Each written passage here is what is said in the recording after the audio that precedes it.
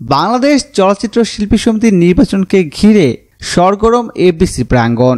আজ শুক্রবার পাঁচই মে সকাল নয়টায় শুরু হয়েছে ভোট গ্রহণ নির্বাচন উপলক্ষে চলচ্চিত্র শিল্পীদের পদচারণায় মুখর এখন এফডিসি এদিকে একসঙ্গে ভোট দিয়ে বের হতে দেখা গেল অপু বিশ্বাস এবং শবনম বুবলিকে। সাম্প্রতিক সময়ে ব্যক্তিগত বিষয় নিয়ে দেশজুড়ে শাকিব খান এবং অপু বিশ্বাস বুবলি বেশ আলোচিত হয়েছেন। অপু বিশ্বাস যে বুবলিকে পছন্দ করেন না, সেটি গণমাধ্যমে প্রকাশিত হয়েছে। সাকিবকে কেন্দ্র করে বুবলিকে ফোন করে গালিগালাজও করেছেন অপু বিশ্বাস। পরবর্তীতে এর জন্য দুঃখ প্রকাশও করেছেন তিনি। এবার শিল্পী সমিতির নির্বাচনে সকাল দশটায় ভোট দিতে আসেন অপু বিশ্বাস। কাকতালীয়ভাবে একই সময়ে ভোট দিতে আসেন নায়িকা বুবলি। তবে ভোট দিয়ে বের হওয়ার পর অপু বিশ্বাস এবং বুবলির সঙ্গে কথা বলা সম্ভব হয়নি।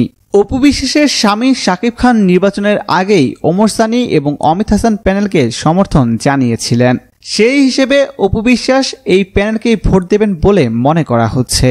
তাছাড়া অপু এভরিস্তে আসার পর থেকেই ওমর সানি মৌসুমের সঙ্গে কথা বলেছেন। অন্যদিকে বুবলি বিভিন্ন সময় গণমাধ্যমে বলেছেন, সিনেমায় কেরিয়ারের জন্য সাকিবের কাছে তিনি কৃতজ্ঞ। সাকিব যেহেতু ওমর সানি এবং অমিত হাসান প্যানেলের পক্ষে রয়েছে তাই বুবলির ভোটও এই প্যানেলেই পড়েছে বলে মনে করছেন অনেকেই। প্রিয় দর্শক, ধন্যবাদ ভিডিওটি দেখার জন্য। নিত্য নতুন এক্সক্লুসিভ সব খবর পেতে এখনই সাবস্ক্রাইব করুন এস ওয়েবসে